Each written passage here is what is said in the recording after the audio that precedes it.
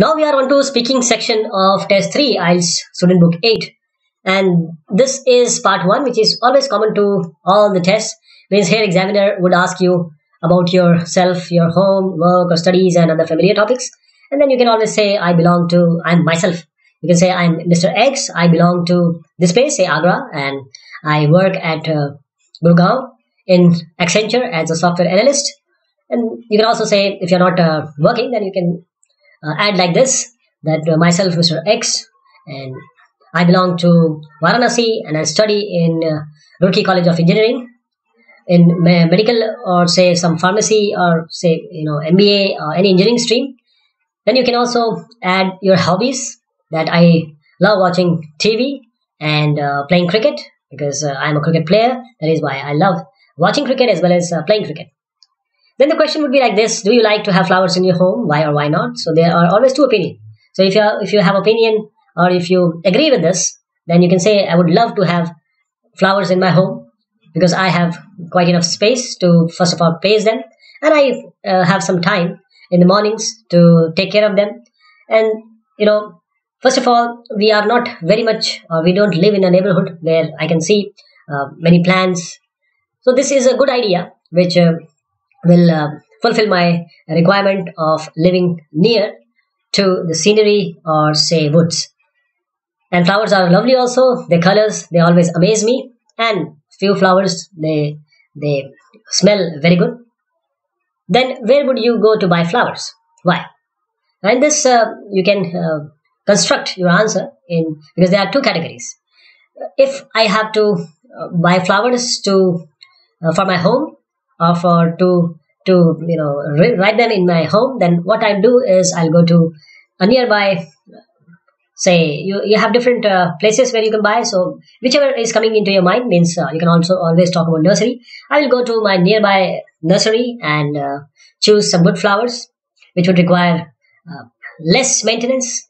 And then if i need to uh, you know purchase flower or to give it to someone for some occasion or event then i will go to x place because their flowers are very good of high quality and they are fresh I have always gone to that place and uh, you know purchased flower and bought flower from that place, X place. You can always answer in your opinion. Then, on what occasions would you give someone flowers?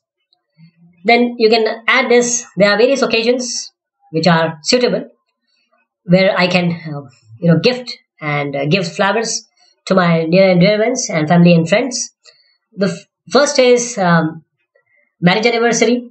Then we have uh, various retirements you know because i work in this company I've, and in the in the event of uh, retirement i usually give flowers and also if uh, i i go to see someone at their home or they invite me so for some event then i always uh, you know take this opportunity to give them flowers. Then are flowers important in your life? Means flowers importance in your culture? Then you can always say that flowers are integral part of uh, any event in our society. May it be a cultural event a college event or an office event or a personal event. Flowers are always there and there are different uh, variety of flowers which are used. Means if you want to give someone then you, you generally choose lily while uh, when the, you need to garland someplace for example, someone is coming to someone, uh, some dignitary is coming uh, at your place or at your office, then you would uh, use or employ flowers like roses there. So there, it is always important to have flowers anywhere, may it be uh, different culture. In our culture, it is it has a lot of importance. To describe a meeting you remember going to at work, college, or school, describe a meeting. You should say when and where the meeting was held, who was at the meeting, and what the people at the meeting talked about, and explain why you are you remember going to this meeting. Then uh, it depends on you whether you choose the meeting at your work, college, or school, and you will have to talk about the topic for one to two minutes, and you have one minute to think about what you're going to say, and you can make your notes to help you if you wish. So you will be provided with the paper. Now don't write the content. Means try to just uh, bullet the points or write only salient points or features which you are going to explain or present to the examiner. So how you are going to start is describe a meeting remember going to at work, school, college or school. So last weekend uh, there was a meeting of young scientists or young uh, technocrats at our place where I work. And these meeting, this meeting was called to brainstorm on certain topics. And these were the topics related to technology, like how can uh, we improve the work which are go- which we are going on, which which is going on means we can add substance and innovativeness and make it state of art. So that meeting was uh, chaired by our director. The office various office bearers were present there, and also young people who have just or recently joined. So in the beginning, the agenda was uh, presented, and the convener of the meeting he presented the agenda and he uh, expected the crowd or the participant to one by one present their ideas. And to my surprise many of uh, us which uh, who are my friends also they came up with very brilliant again genuine ideas brilliant ideas and really state of art ideas. They spoke about uh, latest technologies how can those technologies can be imbibed or can be used employed in our uh, gadgets and softwares. Then various others they also pointed in a moderate or subtle manner the point where we are lagging and where we can improve upon. And the office bearers and the director himself he took off took a note of these uh, drawbacks or problems that were uh, take, uh, took up or presented by some of the young people.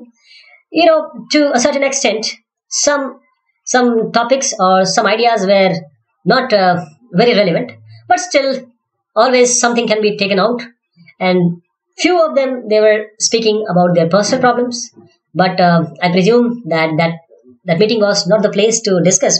But uh, the convener he was uh, able to to cut short and curtail the, the, their opinions.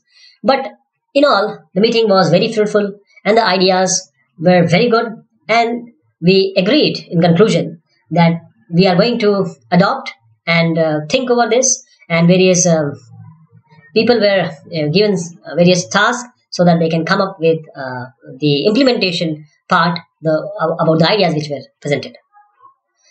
Then discussion topics going to meetings. Example what are the different types of meeting that people often go? Then you can add that uh, if uh, because I, I work so generally there are various uh, in various committees there are various committees in which I, I am member either a member or convener or chairman. So these are the meetings I generally attend and uh, if if you talk about my house means personally I live in a place called X and uh, there is a monthly meeting where everyone uh, meet, greet, and discuss about uh, the community, societal, and uh, colony problem, and how to get rid of uh, them, and what is a good idea, and how can we improve upon what presently is going on. So these are the meetings I generally attend. Then some people say that no one likes to go to meetings. What do you think? In this, you can add that uh, I somewhat agree with uh, this thought that people generally you know they uh, uh, don't like to go to meetings but uh, i would add that meetings are inevitable because we are social uh, animals we need to meet we need to talk and only after, if we talk then the ideas will come if we talk then a solution of any problem can be uh, generated or any any event which is planned. Only meeting or you know various people they may have uh, ideas in in uh, favor or against. So in conclusion generally meetings are fruitful.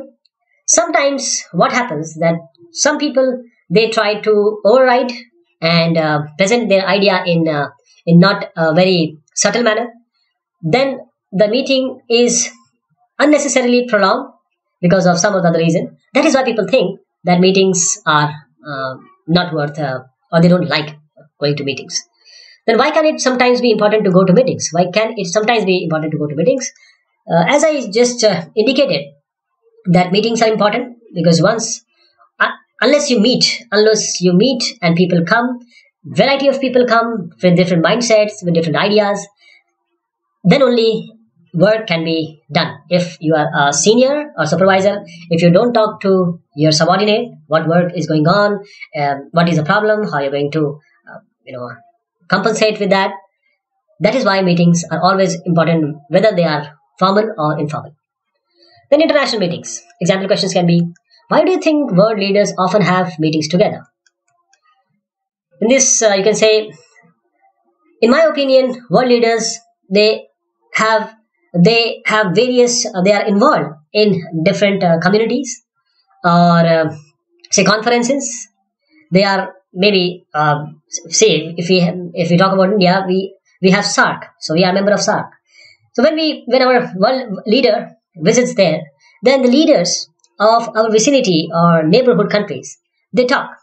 And they talk and they uh, any problem is there then that that problem can be solved any other ideas can be discussed.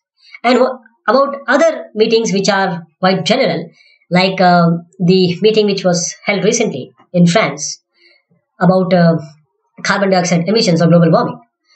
It was a matter of global concern. That is why leader leader meet and try to brainstorm to um, avoid that problem or to eradicate that problem.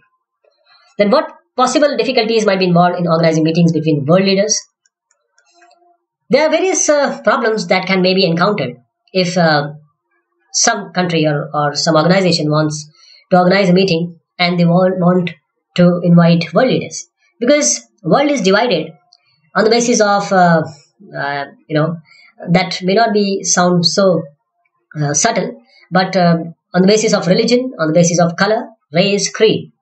And if you go to past the things still uh, things are still uh, going on. People remember past.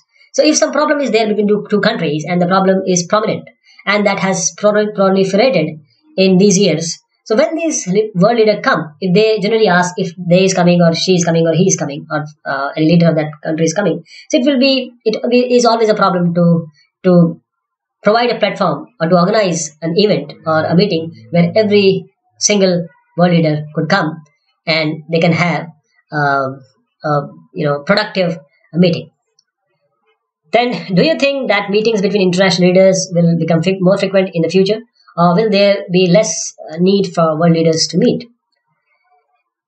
As far as i think what i've been following in news and uh, newspapers and magazine i believe that meetings between international leaders are going to be more frequent than ever. There is uh, no question that they're going to meet uh, Uh, less. The reason being that there are various problems which are now global, like terrorism problem. Now, terrorism problem is not only subjected to or related to one or the other country.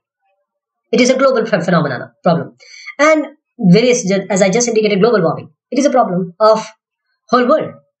Means that problem is going to impact each and every soul present in the Mother Earth. That is why I believe that meetings would be more frequent in coming years. So this was uh, speaking test 3 IELTS 8. Thank you so much.